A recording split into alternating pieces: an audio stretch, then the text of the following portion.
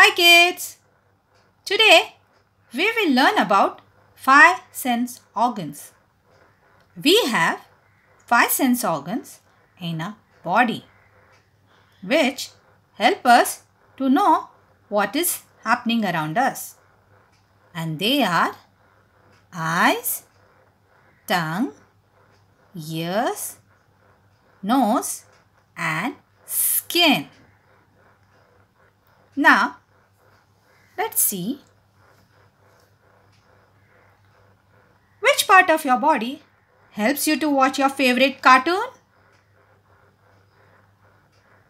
Good, your eyes. Eyes help us to see the things around us.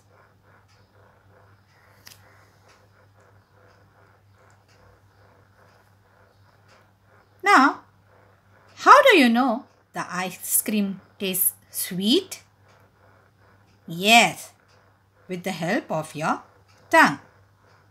Our tongue helps us to know the taste of the food that we eat.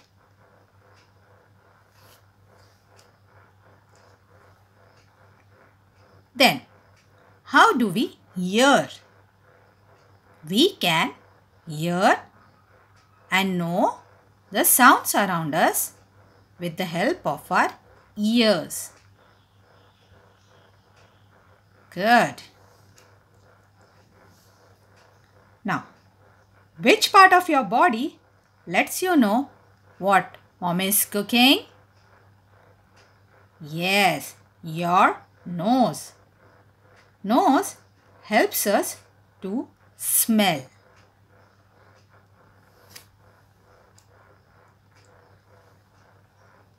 Now, how does our skin work? Our skin helps us to feel the things around us like hot, cold, pain or more.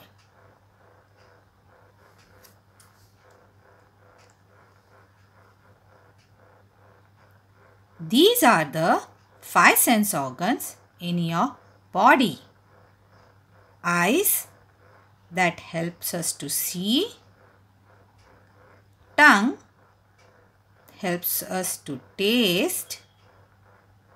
Ears help us to hear sounds around us. Nose that helps us to smell.